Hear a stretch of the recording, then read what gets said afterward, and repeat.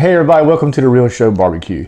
Today I'm going to smoke a brisket on my new pit barrel cooker that the folks at Pit Barrel Cooker sent to me. Noah and Amber are super nice folks there. Also, uh, Noah is a veteran of the Navy, and as many of you already know that I'm a veteran of the Navy, so uh, it's veteran-owned company, super great folks to deal with.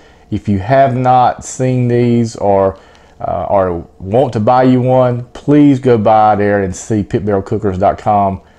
Awesome, awesome products. So I'm gonna bring you in closer, guys, and we're gonna get started on preparing this brisket.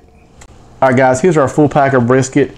And for the folks that have never prepared a brisket before and you're on here looking to learn, I have already removed basically the majority of any fat that's on top of the brisket. On the bottom side of the brisket, you're only looking at leaving about a quarter of an inch all the way across the bottom. And we're gonna be smoking this. We'll put, well, we'll be hanging this in the uh, pit barrel cooker. So, and right in here, uh, I kind of separated this because there was a huge chunk of fat in here that just will not render down.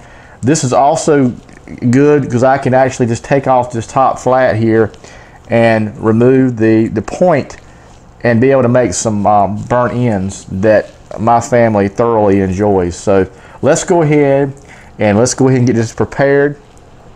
First of all, I want to put some olive oil on this. Just rub it all over. And we're going to be making sure that we cover this brisket all the way around, all the sides, front and back, or top and bottom, whatever you want to call it and we're going to be using two layers today.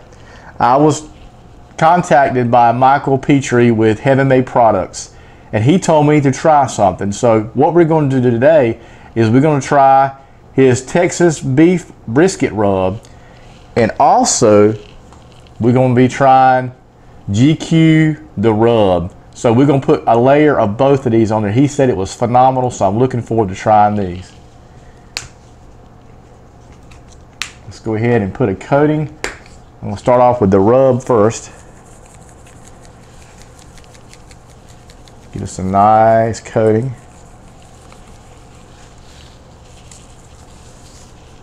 And again, with a brisket, you can go pretty liberal because it's so thick of a piece of meat. And I'm not going to do any type of injections today.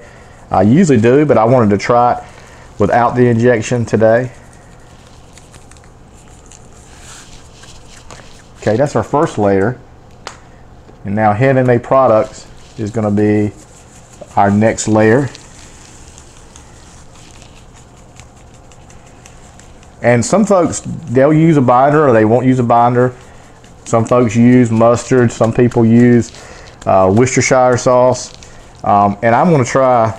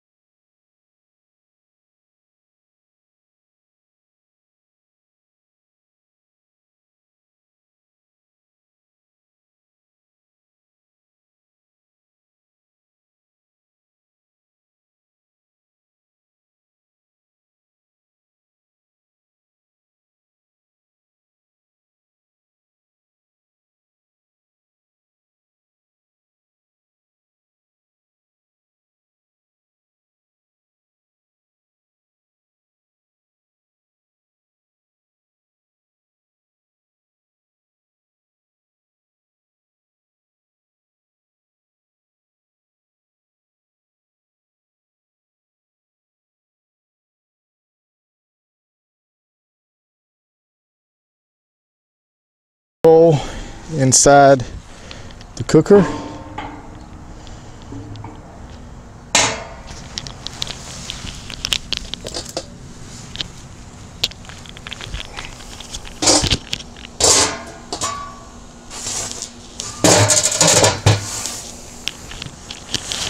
And you may have already noticed that I filled the charcoal basket up and then I took some out. So that's recommended by Pit Barrel is to fill it up level all across the top and take about, I don't know, I took about 40. Okay, and we're gonna add a couple or about three pieces of pecan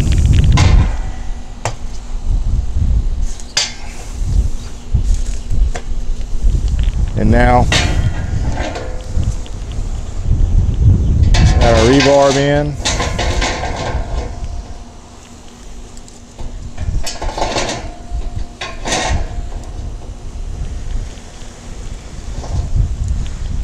And we're gonna let this sit for about 20 minutes. All right, it's been about 20 minutes. So let's go ahead and get this brisket on. It's super nice color. Let's turn it, let's turn it this way.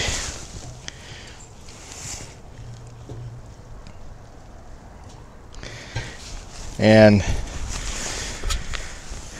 need to get my probes on there. Going with GrillEye. Put one inside. Thickest part here. And then just want to kind of drape one over the rebar here just to kind of get the temp of the cooker. So we can kind of get that to stay let's put the top on. And we're gonna let this sit about three hours. We're gonna come back and check it. And we're looking for about around 160 165 internal. And then we'll look at maybe wrapping it. So we'll see you back guys. Alrighty we're gonna check this out now. We've been going about three hours. So let's pull this off. Kind of see where we're at. Got some nice color. I can see that and we're reading 167 uh, so we've gone just a little bit over but let's just see what we got for this Maverick instant read thermometer. That says 159 there. Yeah we need to go ahead and pull this off. It's 164 so let's go ahead and pull this off guys and we're to wrap this. Today we're to be wrapping it in some um, butcher paper instead of full so let's do that right quick all right, here's the brisket. It's got some nice color on it. We're gonna go ahead and wrap this in some butcher paper.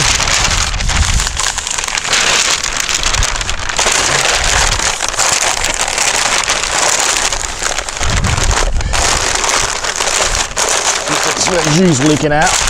So let's get this on to the grill right quick, guys. Alrighty. So we already got our grill grate in there. Let's go ahead and put this down. Be careful, it's very hot. Get the butcher paper. This is the first time using butcher paper. Uh, I got some from our local butcher and and this this uh, brisket came from Country Butcher right here in uh, well, in La Grange, North Carolina. Let me grab my glove here because that is hot. Put these back in here again. This is crucial. This helps regulate the airflow. We'll put this back on, guys. Well, let's put our uh, put our probe on there.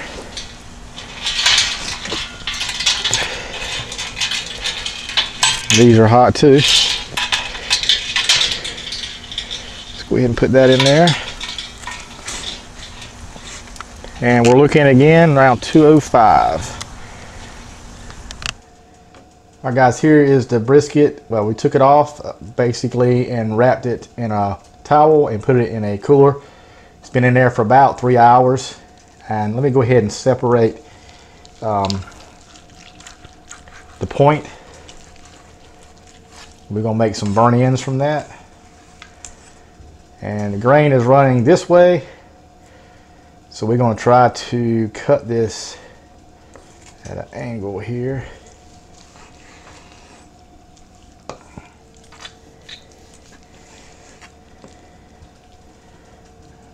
There you go. See if we can get that in the shot here.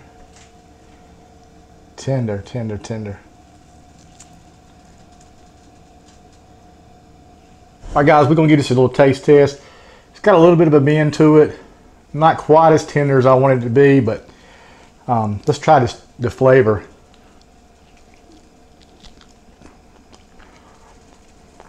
The flavor is absolutely wonderful. Guys, the combination of the Texas brisket rub from Heaven Made Products and the rub by GQue Barbecue together, guys, I recommend this highly. The flavors just explode in your mouth. There's so much flavor. I didn't even I didn't do any kind of injection. Maybe if I did some injection, it might would have gave it a little bit more moisture. But overall, it tastes great.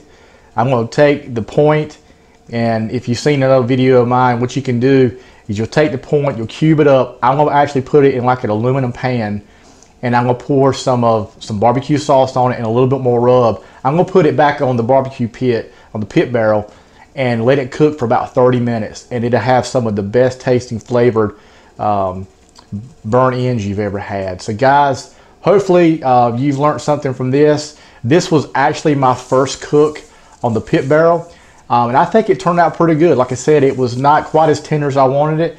Uh, I just needed to adjust a few things, but overall, hey, for home, it is a great flavor, guys. I highly recommend you checking out all these products that I have mentioned. Be sure to go check out Pit Barrel awesome stuff, guys. Thank you so much, and God bless.